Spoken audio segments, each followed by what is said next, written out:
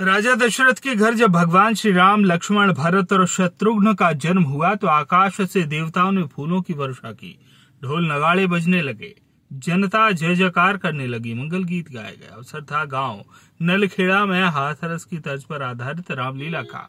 गाँव नलखेड़ा के युवा कलाकारों द्वारा रामलीला के दूसरे दिन भगवान राम जन्मोत्सव प्रसंग का सजीव चित्रण किया गया। कलाकारों ने रामलीला के मंच से रावण के बढ़ते अत्याचार व पृथ्वी पर पाप अधिक बढ़ने पर पृथ्वी पर देवता, महादेव और ऋषि मुनियों की शरण में जाते हैं।